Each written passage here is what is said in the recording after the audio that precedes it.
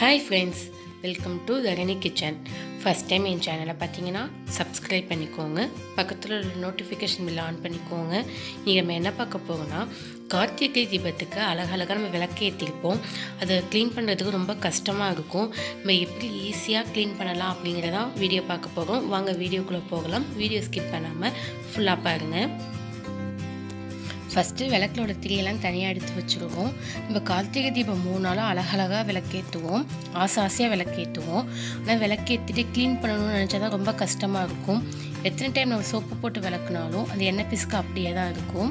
இது மாதிரி நீங்கள் செஞ்சு பாருங்கள் ஃபஸ்ட்டு டயத்துலேயே எண்ணெய் பிசுக்கெல்லாம் போயிட்டு சூப்பராக விளக்கு க்ளீன் ஆகிடும் நம்ம துணியோ டிஷ்யூவோ யூஸ் பண்ணி நம்ம விளக்கெல்லாம் தொடச்சி எடுத்துடலாம்.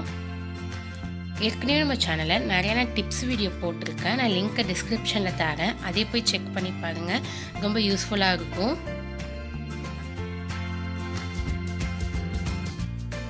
ஒரு பாத்திரத்தில் தண்ணி வச்சுருக்கேன். அதோட ரெண்டு டேபிள் ஸ்பூன் சோடா உப்பு சேர்த்துக்கலாம்.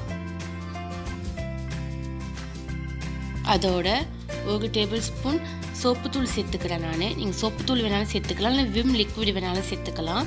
இதனால் மிக்ஸ் பண்ணி கொதிக்க வச்சுக்குவோம்.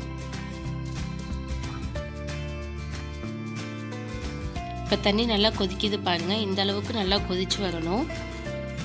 இப்போ நம்ம விளக்கெல்லாம் ஒன்று ஒன்றா உள்ளே சேர்த்துக்குவோம்.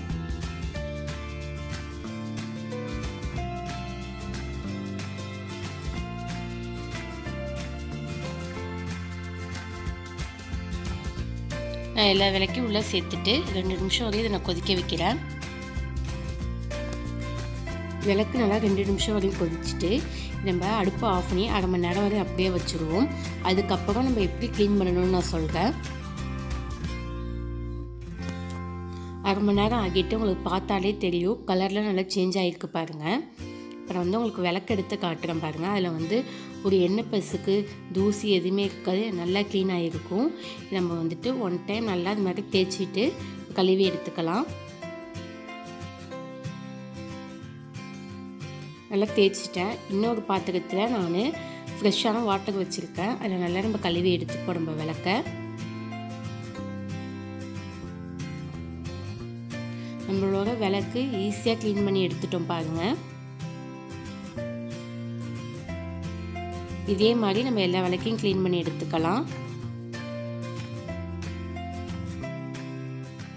சூப்பராக முறை விளக்கெல்லாம் க்ளீன் ஆகிட்டு இதுக்கப்புறம் நீங்கள் எடுத்து ஒரு நல்ல காய வச்சு ஒரு பாக்ஸில் போட்டு வச்சிங்கன்னா நெக்ஸ்ட் டைம் நீங்கள் கார்த்திகை வர வரையும் அப்படியே ஃப்ரெஷ்ஷாக இருக்கும். எந்த ஒரு தூசி எதுவுமே படிஞ்சிருக்காது. இந்த டிப்பை நீங்கள் யூஸ் பண்ணி பாருங்கள் அவ்வளோதான் ஃப்ரெண்ட்ஸ் இந்த வீடியோ பிடிச்சிருந்துச்சுன்னா லைக் பண்ணுங்கள் ஷேர் பண்ணுங்கள் சப்ஸ்கிரைப் பண்ணுங்கள் பக்கத்தில் உள்ள நோட்டிஃபிகேஷன் மேலே ஆன் பண்ணிக்கோங்க. வேறு ஒரு வீடியோவில் பார்க்கலாம். பாய்